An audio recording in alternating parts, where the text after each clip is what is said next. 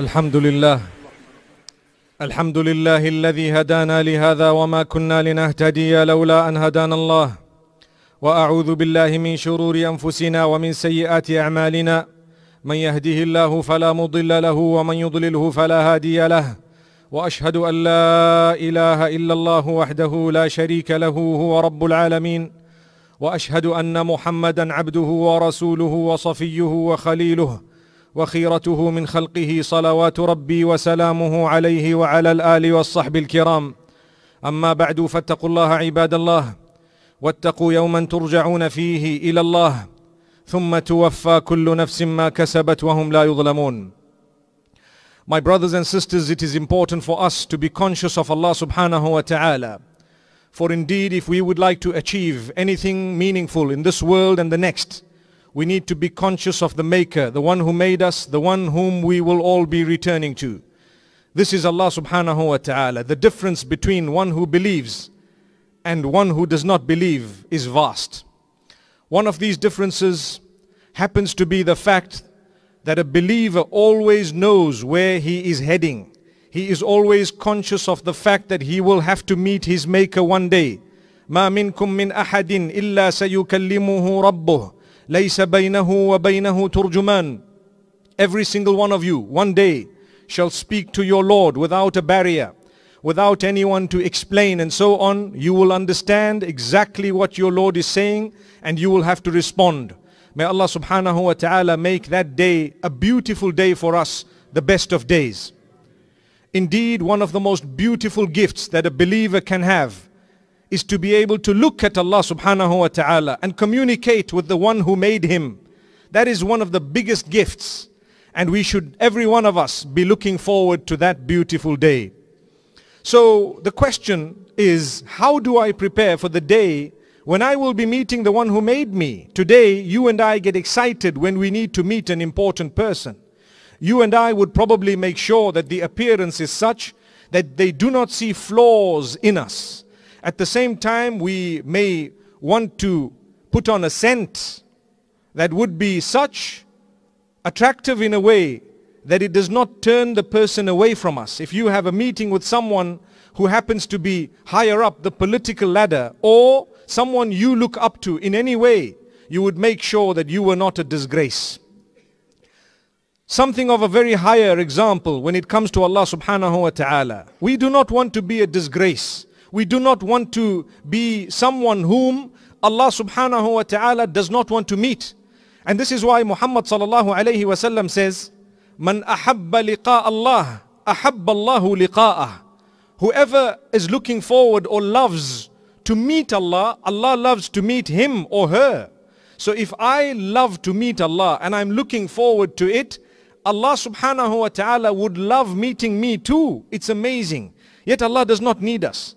He does not need us at all, but He would look forward to meeting someone who's looking forward to meeting Him. And this is why in the Quran, in more than one place, Allah subhanahu wa ta'ala explains to us what to do. You, you are looking forward to meeting with Allah. فمن كان يرجو لقاء ربه فليعمل عملا صالحا ولا يشرك بعبادة ربه أحدا Whosoever from amongst you is looking forward to the meeting with Allah subhanahu wa ta'ala, he needs to make sure primarily that two conditions are met. He needs to do good deeds, al-amalu salih, according to those who've explained the verse. The mufassirin and the ulama have explained quite clearly that al-amal means a deed. And al-amalu salih is a deed that was taught by Muhammad sallallahu alayhi wa sallam. When you worship your maker, do not fabricate or create or innovate an act of worship from your own self. No, Allah sent someone to teach you how he wants to be worshipped. So stick to that. When you want to fulfill your salah, ensure that you're fulfilling it in a way that Allah will love, a way that Allah has taught. And this is the way taught by the messenger of the same Allah subhanahu wa ta'ala whom we are trying to please. So therefore, my brothers and sisters, protect yourself from innovation, come what may. When it comes to acts of worship, do that which is taught by Muhammad sallallahu alayhi wasallam in a way that was taught by him. Hence, you would be preparing for the day you meet with Allah subhanahu wa ta'ala. Something very simple. Similarly, Allah says, if you are looking forward to the meeting with Allah subhanahu wa ta'ala, on top of the deeds being pure and good as per the teaching of Muhammad sallallahu alaihi wasallam, make sure that you render no act of worship for anyone or anything besides Allah subhanahu wa ta'ala. وَلَا يُشْرِكْ بِعِبَادَةِ رَبِّهِ أَحَدًا The worship of Allah subhanahu wa ta'ala is for Him alone. An act of worship is rendered solely and only to He who made me, He who made you. When I put my head on the ground, it is solely for the one who made me, no one else. When I ask for general happiness, when I ask for cure, when I ask for goodness in this world and the next, I'm asking Allah and I'm asking Him alone if Allah has given someone the ability, the physical ability that I can witness with my eyes to help me in a way, then after asking Allah's help, I may ask them, brother, can you give me 10 pounds? Because I know they have 100 pounds. And this is something physical that is witnessed by the eye. But none of us controls the happiness and sadness of one another or the other. We need to know this is from Allah subhanahu wa ta'ala. The goodness, the good fortune, the general barakah and blessings in sustenance. All this is from Allah subhanahu wa ta'ala. So if I want to meet Allah and I want to prepare for the day when I will meet my own maker, I need to render acts of worship solely and only for him as per the teachings of Muhammad sallallahu alayhi wasallam. This is something primary. I'm sure we've heard it, we've understood it to put it into practice is not so easy because every day we will have shaitan coming to us in different forms, different messages, different types of uh, messages coming to us literally from the devil trying to turn us away from the goodness taught by Allah subhanahu wa ta'ala. The goodness taught through Muhammad sallallahu alayhi wa sallam. The, the way to worship Allah subhanahu wa ta'ala. There will be people adding. There will be people trying to say things. There will be people subtracting. We need to know the battle is all about trying to please Allah subhanahu wa ta'ala. That is the battle.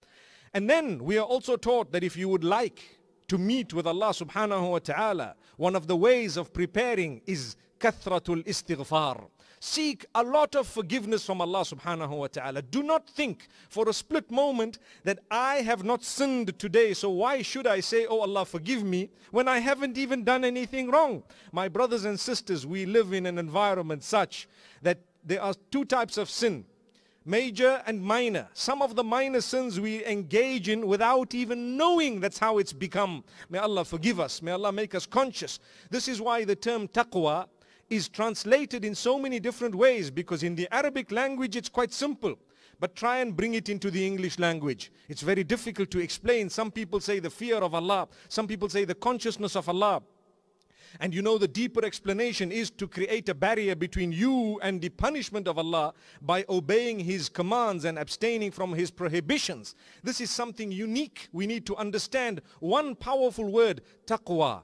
Taqwa is to be able to please Allah, to be conscious of Allah, to be able to ask Allah's forgiveness, to ask Him to make you conscious of so many different things. We fasted a few months back and you and I know that one of the aims of fasting, Allah says, لَعَلَّكُمْ تَتَّقُونَ In order for you to be achieving piety, in order for you to be achieving consciousness, you become conscious of the food, you become conscious of your feelings, you become conscious of those who cannot afford, you become a person who has, who is filled with compassion and so on, reaching out to people throughout the year, the next 11 months after the month of Ramadan, you and I know that if we have become conscious of all these things, we would be assisted in a beautiful way to get closer and closer to Allah subhanahu wa ta'ala. So if I am to be a person who asks Allah's forgiveness, oh Allah, forgive me, two things happen. One is the sins I've committed are forgiven, and two is once they are wiped out, my level begins to increase.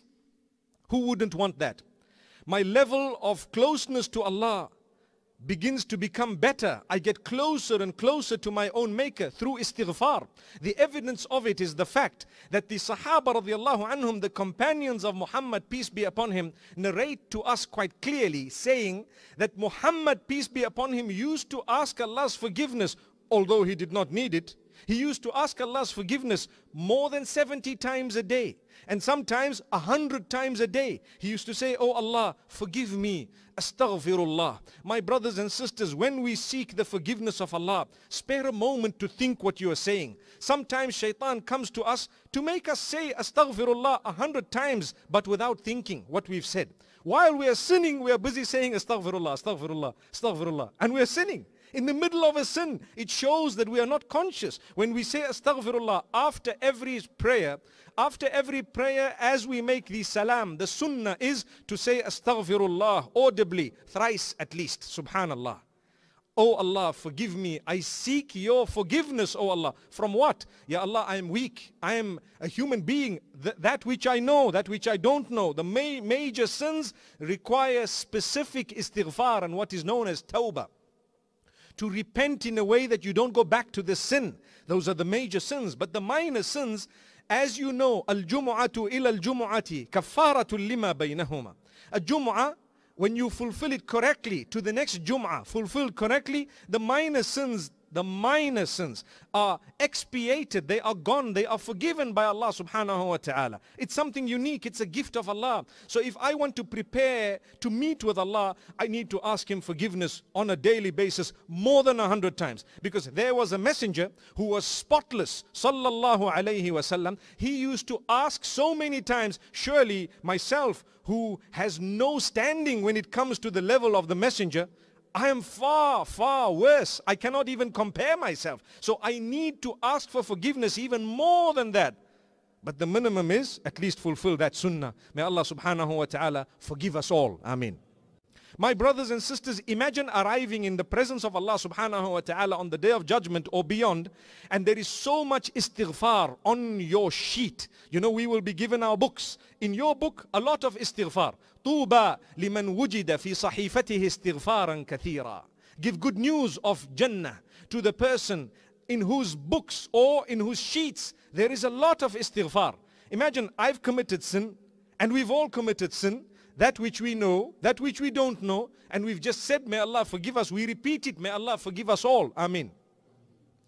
Imagine if I arrive on the day of Qiyamah with all the sins I've committed, and then I'm standing in front of Allah subhanahu wa ta'ala, and all the istighfar is also there. You tell me, when Allah calls Himself Ghafoor, Rahim, Ghaffar, وإني لغفار لمن تاب وآمن Amazing how Allah says I am so forgiving. The term ghaffar is known as mubalagha, whereby it does not just mean to forgive, but it means to constantly forgive. Allah says, I keep on forgiving. Subhanallah. Imagine if I arrive and I have so much of asking Allah's forgiveness on the day of judgment, and I have the sins. What do you think Allah, who is the most forgiving, will do when He has seen that you are asking for so much of forgiveness? Really, you need to have hope. And that brings me to the next point. If you want to meet with Allah in a beautiful way, have hope. Have hope in the mercy of Allah. Never ever lose that hope. Have a good feeling regarding to Allah subhanahu wa ta'ala. Ana inda dhanni abdi bi. According to one hadith Qudsi narrated by Muhammad from Allah subhanahu wa ta'ala. Allah is saying, I will treat every individual according to how they perceive me. So you need to perceive Allah subhanahu wa ta'ala as ghaffar. But there is a condition. That perception must not make you intentionally continue sinning and hope that, okay, Allah will forgive me. You know, you commit a sin and say, Ghafurur Rahim. We heard in the Masjid Ghafurur Rahim. Let me continue, you know, whether it's gambling, adultery, whatever else it is, uh, alcohol and drugs and the nightlife and all the haram. And every time you're doing something, say, don't worry, we just heard Allah is Ghafurur Rahim. That is something dangerous. It is shaitan's trap and it is such that you die in a bad condition. May Allah subhanahu wa ta'ala forgive us. Be genuine when you seek Allah's forgiveness. Be honest. Be sincere. Perceive, yes, that Allah subhanahu wa ta'ala will indeed forgive you. Yourself and myself, yourselves and myself, we have no way forward besides having hope in the mercy of Allah. If you lose that hope, your door is closed and your road is closed. You need to have hope in the mercy of Allah. That is what will keep me alive. The day I am on my deathbed, may Allah grant us all a good death. The day I'm on my deathbed, what do I expect? I'm looking forward to the meeting with Allah. I have no other option. I need to say, Oh Allah, I have hope in your mercy. No matter what my condition will be on that day. I need to have hope. We get old. Some of us die young, but those who might become old and perhaps you can't walk anymore, you can't do what you used to do in the past anymore. You need to continue having hope in Allah. As the pain increases in your body, you need to know it is kafara to dhunub. It will forgive your sins. It will expiate the sins that you may have committed. And on top of that, your, your status begins to become elevated because you are bearing what is known as sabr. Sabr does not just translate as forbearance or patience. It has an encyclopedia of meaning. May Allah subhanahu wa ta'ala guide us. So my brothers and sisters, never lose hope in the mercy of Allah. We will hope in the mercy of Allah. We will hope that Allah loves us. We will hope that He has forgiven us. And inshallah, that is the condition upon which we will meet Him. We will meet Him with the same hope. May Allah subhanahu wa ta'ala be pleased with us at all times. Um, similarly, what is extremely important is known as kathratu sujud. There was a companion of the Prophet sallallahu alaihi wasallam who was once told or asked a question about paradise and he wanted it and he asked for it. And the Prophet sallallahu alaihi wasallam says, well, help me to achieve it for you by fulfilling sujood often, by finding yourself in prostration a lot.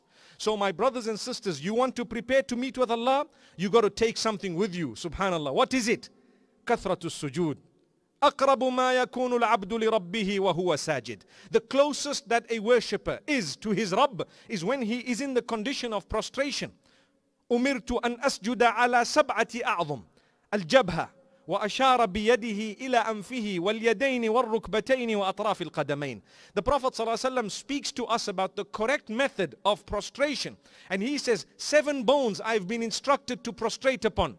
And he pointed to the forehead, or he said the forehead and pointed to the nose. And then he says the hands and the tips of the toes, the knees and the tips of the toes. So you have six and this is the seventh one. Let us prostrate and take your time in prostration kathratu sujud, often prostrating. Not just your salah, but you need to lengthen it a little bit. Not just your farad salah. You need to constantly ask yourself, how much have I done voluntary? Many of us would read the farad and walk out. Yes, your duty may be done. But remember, get closer to Allah. Prepare in a way that you would actually be able to come and offer something. You have something grand. According to the narration of the Prophet ﷺ, you are looking forward to meeting with Allah. You want Jannah, you want paradise. Inshallah, the beauty of it will only be felt when you are preparing for that beautiful day. My brothers and sisters, there are so many other ways of achieving the closeness to Allah, of preparing for the meeting with Allah. Your kindness, your reaching out to those in need, your reaching out to your brothers and sisters, whether they are in your city, in your locality, or across the globe, those who are struggling and suffering, just to reach out to them with something small that you may have, perhaps with a prayer if you don't have anything material, good words amongst yourselves, cleansing your heart so that you learn to love one another. This all for the sake of Allah. You will be prepared for the day you meet with Allah subhanahu wa ta'ala. Take a look at the narration where the Prophet sallallahu alaihi wasallam speaks about رجلان تحابا في الله اجتمع عليه وتفرقا عليه. Those who love each other the two who love each other for the sake of Allah will be granted a special shade on the day of Qiyamah. Imagine you're preparing for the day. Why do we call ourselves believers? Because we believe there is a hereafter. We believe in Allah, in the angels, in the prophets, in the books and so on. We believe that good and bad comes from Allah subhanahu wa ta'ala. Yes, He's granted us capacity, capability. He has put us in this world for a test. But He is in charge. He is in control. He is the absolute. Allahu Akbar, the irresistible. That is Allah subhanahu wa ta'ala. My brothers and sisters, ask Allah forgiveness. For indeed He is the one who will forgive your sins. أقول قولي هذا وأستغفر الله لي ولكم ولسائر المسلمين فاستغفروه إنه هو الغفور الرحيم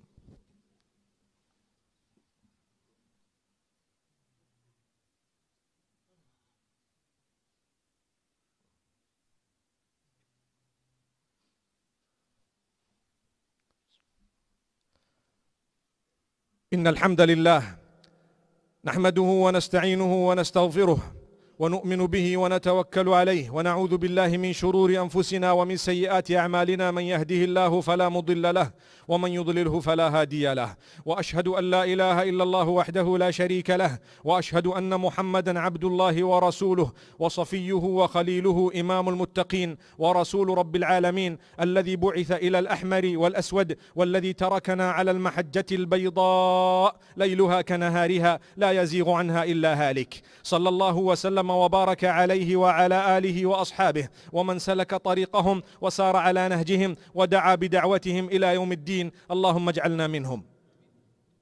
أما بعد فاتقوا الله عباد الله My brothers and sisters be conscious of Allah subhanahu wa ta'ala Develop that consciousness for indeed the intelligent one is he who prepares for the meeting with Allah subhanahu wa ta'ala He who recognizes himself and works for that which is post-death Do not only work for that which will be beneficial for you in this world A believer will work for both both meaning when we ask Allah we say ربنا آتنا في الدنيا حسنة وفي الآخرة حسنة وقنا عذاب النار True believers say Oh Allah grant us goodness in this world and grant us goodness in the hereafter and protect us from the punishment of hellfire which means yes you will work for the goodness in this world. You will work for your health for your wealth your families and so on within the conforms of Allah subhanahu wa ta'ala's instruction. We will not displease Allah in the process.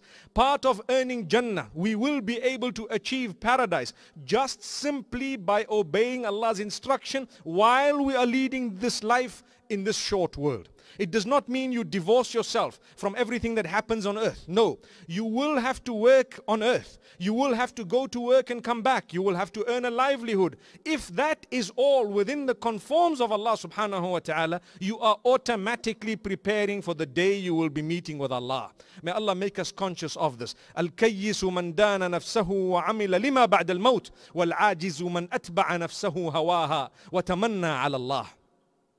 Like I said, the one who is intelligent is the person who recognizes himself and works for that which is beyond death. And the person who, who, does, who lacks that intelligence is one who continues to hope in the mercy of Allah but just follows his desires. May Allah subhanahu wa ta'ala not do that to us. My brothers and sisters, it is an instruction of Allah subhanahu wa ta'ala to all of us to send blessings and salutations upon Muhammad sallallahu alayhi wasallam. He says, إن الله وملائكته يصلون على النبي يا أيها الذين آمنوا صلوا عليه وسلموا تسليما اللهم فصل وسلم وبارك وأنعم على عبدك ورسولك محمد أفضل الخلق وأكرم الرسل. وارض اللهم عن خلفائه الراشدين الأئمة المهديين أبي بكر وعمر وعثمان وعلي. اللهم ارض عنهم وعن سائر الصحابة والتابعين وعنا معهم بمنك وكرمك يا أكرم الأكرمين. اللهم أعز الإسلام والمسلمين. اللهم آمنا في أوطاننا وأصلح أئمتنا وولاة أمورنا. واجعل ولايتنا في من خافك واتقاك واتبع رضاك يا رب العالمين. اللهم أبرم لهذه الأمة أمر رشد يعز فيه أهل طاعتك ويذل فيه أهل معصيتك ويؤمر فيه بالمعروف وينهى فيه عن المنكر يا سميع الدعاء. اللهم انصر الذين أخرجوا من ديارهم بغير حق إلا أن يقولوا ربنا الله. اللهم انصر المظلومين في كل مكان. اللهم انصر المظلومين في كل مكان. اللهم كل المستضعفين يا ذا الجلال والإكرام. اللهم وحد صفوف المسلمين. اللهم وحد صفوف علماء المسلمين. اللهم وحد صفوفنا. اللهم إنا نسألك الهدى والتقى والعفاف والغنى. اللهم ادفع عنا الغلا والوبا والربا والزنا والزلازل والمحن وسوء الفتن ما ظهر منها وما بطن. اللهم أغثنا غيثا مغيثا مريئا مريعا نافعا غير ضار عاجلا غير آجل. اللهم إنا خلق من خلقك فلا تمنع عنا بذنوبنا فضلك. اللهم ربنا آتنا في الدنيا حسنة وفي الآخرة حسنة وقنا عذاب النار. اللهم ربنا هب لنا من أزواجنا وذرياتنا قرة أعين واجعلنا للمتقين إماما. اللهم اشف مرضانا ومرضى المسلمين. وارحم موتانا وموتى المسلمين. وارحمنا إذا صرنا إلى ما صار صاروا إليه. اللهم ربنا لا تزغ قلوبنا بعد إذ هديتنا وهب لنا من لدنك رحمة إنك أنت الوهاب. ربنا تقبل منا إنك أنت السميع العليم وتب علينا إنك أنت التواب الرحيم. عباد الله إن الله يأمر بالعدل والإحسان وإيتاء ذي القربى وينهى عن الفحشاء والمنكر والبغي. يعظكم لعلكم تذكرون. اذكروا الله يذكركم وادعوه يستجب لكم. ولذكر الله أكبر. وصلى الله وسلم وبارك على نبينا محمد والحمد لله رب العالمين.